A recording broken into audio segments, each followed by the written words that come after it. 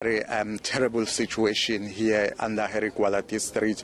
We understand that yesterday around half past two in the afternoon there was a storm that ripped through the area.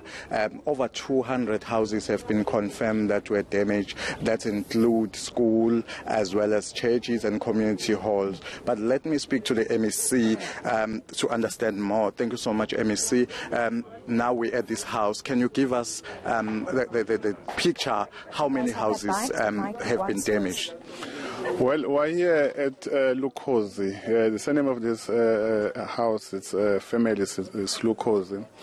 We decided to leave everything. You know that it's Christmas today, but because we're a caring government, we decided that we must leave everything and we come and support the families under Harry Gwala district.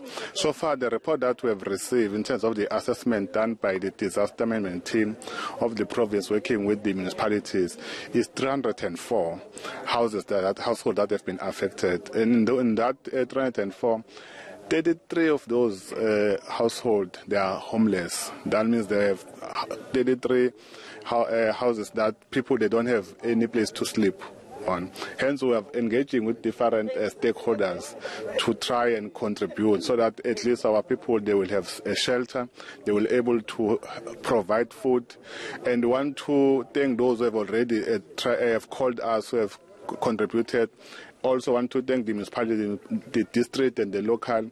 We're also with the district mayor, with the provincial uh, deputy speaker of the legislature, and, and councillors and ward councillors there. Everyone is here, and we're here all over the Harry Gwala was supporting the families, were providing the temporal intervention because we need to assess first what, what the, the, the, the, damage so that we're able to provide a long-term uh, in, intervention. Let me ask my colleague Francois if you can, Erin, um, if he can um, just pen and you maybe you will be able to see uh, this house. Um, the owner of this house, uh, Mr. Lukozi, was saying he was just about to move in in this house. It's a newly built house, but unfortunately they won't be able to move anytime soon. As you can see that um, the, the, the entire structure, the roof has been completely damaged.